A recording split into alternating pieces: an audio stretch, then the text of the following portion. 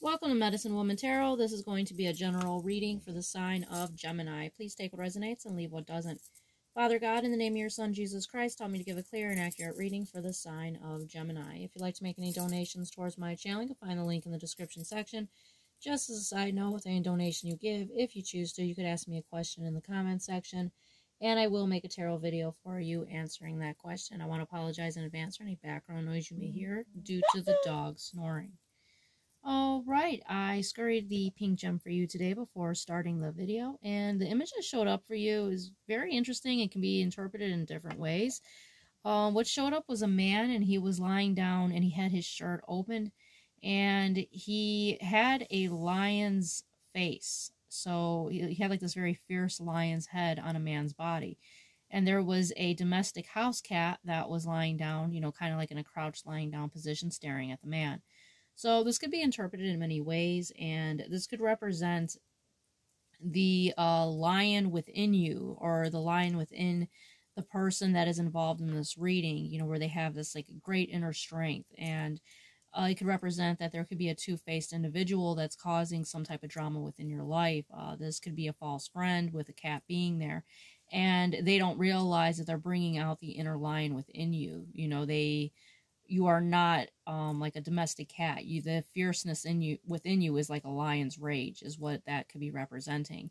Uh, you could be dealing with a Leo possibly, with there being the lion um, head there, and it could also represent in the context of the devil goes around like a lion looking for someone to devour. So there could be up to two people possibly that could be, you know, causing some type of drama within your life. But take it how it resonates; it'll apply differently to everyone.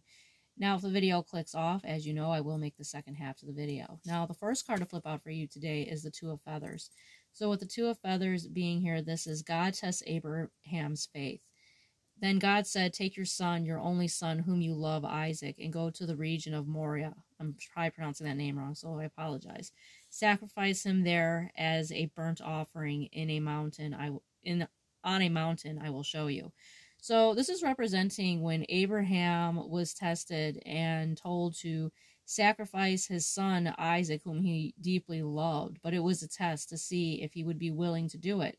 Now, of course, the angel of God came down on God on his orders. You know, God told the angel to come down and stopped Abraham from sacrificing his son. And it was just a test to see if we love God more than, you know, even the most person that we is the closest to us in this world. You know, this could be, you know, our relatives or whoever it could be that you love so much.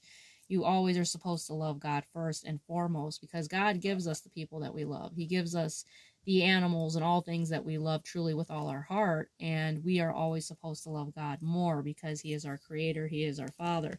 So it's a representation of always putting God first. Now, the Two of Feathers also has the representation of, you know, a difficult decision, inner conflict, moment of, you know, stalemate, test of faith and morality, need for reflection and clarity. So, you know, you could be going through that right now. And I feel like how the cards flipped out, you could be going through this situation with perhaps someone that you very deeply care about. And that was clarified by the Ten of Wands. So you are going through possibly some type of burdens right now, something that feels very heavy upon you here with the Ten of Wands because that was clarified by the lovers. Now, with the lovers being here, this is like your soulmate energy. This is your other half. And I feel like you'd be going through a situation right now where you're being tested or your significant other is being tested or you both are being tested here with the lovers. So there is some type of burden that's upon you guys. And that's clarified by the Nine of Cups. This is wish fulfillment and dreams coming true within your love, but there is a test that is coming. But we will get into this deeper in the second half of the video.